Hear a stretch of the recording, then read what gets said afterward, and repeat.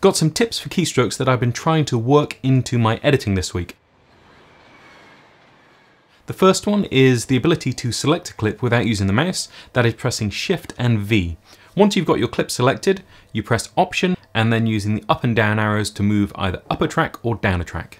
That's particularly useful if you are doing it in combination with the slip and slide that we looked at before, because it allows you to select a clip and then you can take that clip to another track and move it around.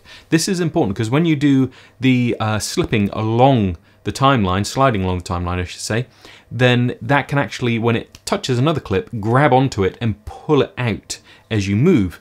Now, if you're on the same track as another clip, that can be a little bit frustrating. It also means that you can actually delete through other clips as you move.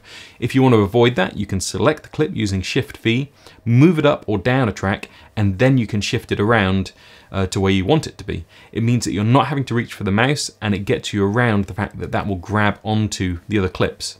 There are a number of different ways we can manipulate clips when we're looking at moving them around next to each other, and I'm going to have a look at those next time, but those are more mouse focused rather than something that you would do just with the keyboard.